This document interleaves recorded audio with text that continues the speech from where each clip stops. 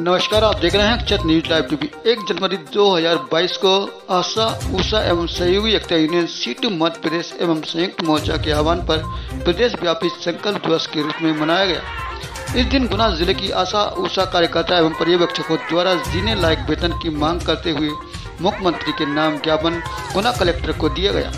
आशा उषा कार्यकर्ता एवं सहयोगी एकता यूनियन, सीटू के जिला अध्यक्ष मिथिलेश गोस्वामी एवं महासचिव रामवती शिकारी ने बताया कि प्रदेश भर की आशाओं की 1 जून 2021 से चली आ रही अनिश्चित हड़ताल के दौरान 24 जून को प्रदर्शन में आशा कार्यकर्ता एवं सहयोगी एकता union C to Madhya Pradesh के प्रतिनिधियों के साथ भोपाल में चर्चा करते हुए मिशन संचालकों ने आश्वासन दिया था कि आशा उषा कार्यकर्ताओं को दस हज़ार रुपये प्रति माह एवं सहयोगियों को पंद्रह हज़ार प्रति माह वेतन दिया जाएगा। किंतु आश्वासन पर आज तक अमल नहीं किया गया। इसी आश्वासन को पूरा करने की मांग को लेकर विगत 20 दिसंबर को भोपाल में आश्वासन पर धरना आंदोलन दिया गया। इसी आश्वासन को पूरा करने की मांग को लेकर विगत 20 दिसंबर को भोपाल में विधानसभा पर धरना आंदोलन किया गया था।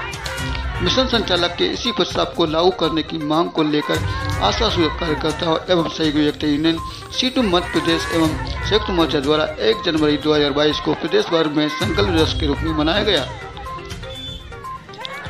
गुना में भी मांगों के संबंध में ज्ञापन सौंपा गया। आशा उषा कार्यकर्ता एवं सहयोगी एकता यूनियन सीटू जिला गुना की अध्यक्ष मिथिलेश गोस्वामी एवं महासचिव रामवती शिकारी ने बताया कि आशाओं को न्यूनतम वेतन व कर्मचारी का दर्जा देने की मांग को लेकर आगामी तीन फरवरी को देश भर की लाखों आशाओं के साथ गुना ज़िले की आशाएँ एवं पर्यवेक्षक भी दिल्ली पहुंचकर सांसद पर होने वाले प्रश्न में शामिल होंगी। कार्यकर्ता मिथिलेश गोस्वामी, जिला अध्यक्ष सीटू संगठन से सभी बहनों को संदेश देना चाहती हूँ कि हम सभी बहनें जो 20 बीस दिसंबर को भोपाल में प्रदर्शन किया, भारी ताकत में सरकार पर दबाव बनाया, उस दबाव से सरकार ने थोड़ी सी बढ़ोतरी की तो सरकार ने कुछ तो किया, पर हमें थोड़ी सी जीत से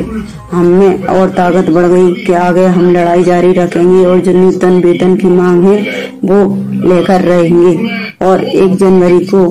अपन सही बहने, आशा सहयोगी बहने